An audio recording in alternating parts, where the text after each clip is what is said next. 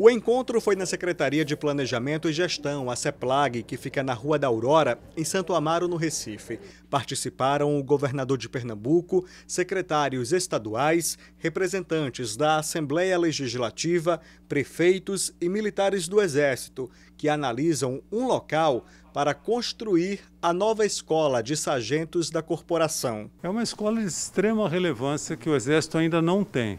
Hoje nós formamos os sargentos em 16 organizações militares espalhadas por todo o Brasil e a ideia é concentrar isso tudo num local único. Seria a semelhança do que a nossa formação de oficiais, que é na Academia Militar das Agulhas Negras. O Exército Brasileiro planeja investir quase 2 bilhões de reais no novo centro, que terá escola, Vila Olímpica, formação de tiro e uma vila militar.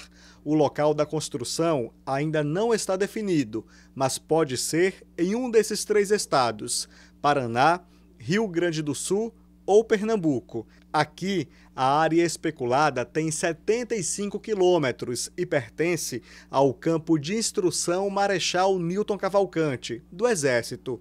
O terreno abrange os municípios de Abreu e Lima, Paudalho, Tracunhaém, Araçoiaba, Camaragibe, São Lourenço da Mata e Igaraçu.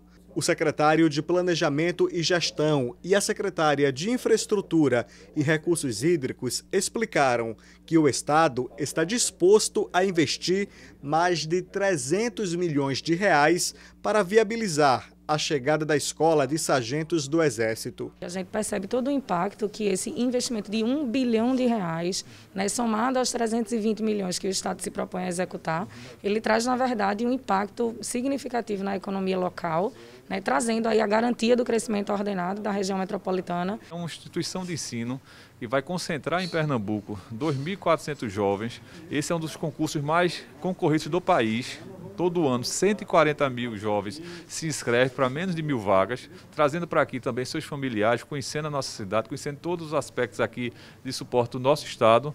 Os projetos elaborados pelo governo estadual foram apresentados.